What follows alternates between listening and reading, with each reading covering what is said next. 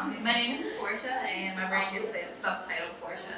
Um, I created my brand uh, just two years ago, um, and it's mainly because I feel like I'm a person that's like always on the go, but I always want to like look like I am dressed like to the nine. So it's like, how do I combine like this comfort and ease of getting dressed with like looking like I actually?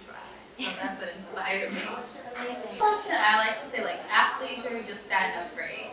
So it's uh, all satin, so you got that like nice, like flowy feel of the satin, a lot of like pant sets and skirt sets, but um, the lines and shapes are a little bit more luxury.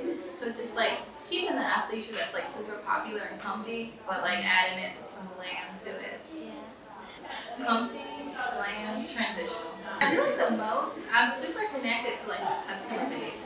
So we like do so many like events throughout the year. So I think it was really hard to like not be able to like physically connect with, I call them the dials, with the dials and like figure out what they wanted and what they wanted to do lives look like. So that was the hardest thing. But I think just embracing like Zoom, really diving into social media and like connecting with them on that platform helped a lot. Uh, New York Fashion, this is my first New York Fashion Week, so I don't know what it's like been before, but it's been cool so far. I've done Miami Swim Week, and that is fun and a lot more like party vibe. So this is like a lot more luxury and dining and fun and traditional what it feels like here, like that. There's a lot of tradition in New York Fashion.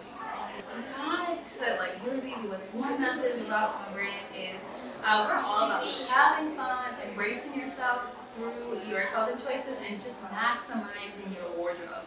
That's the key. All of our pieces are designed to fit into what you already have and maximize